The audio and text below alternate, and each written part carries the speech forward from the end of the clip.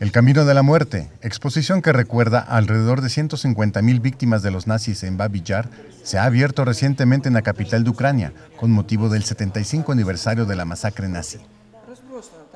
Más de 500 piezas, entre ellas fotos auténticas y documentos, así como objetos personales de las víctimas, se muestran en el Museo de Historia de Ucrania de la Segunda Guerra Mundial. Además, docenas de instalaciones de arte moderno revelan la brutalidad de la matanza de Babi un barranco en Kiev, sitio de una serie de asesinatos llevados a cabo por los nazis durante su campaña en contra de la ex Unión Soviética en los tiempos de la Segunda Guerra Mundial. El más notorio y mejor documentado de estos hechos tuvo lugar el 29 de septiembre de 1941, en que 33.771 judíos fueron asesinados en una sola operación. Una gran tragedia, una tragedia para la ciudad de Kiev, una tragedia para Ucrania, una gran tragedia para los judíos que viven en Ucrania.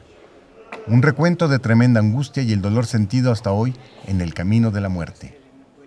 Con información de la oficina en Kiev, Ucrania, Noticias Xinhua.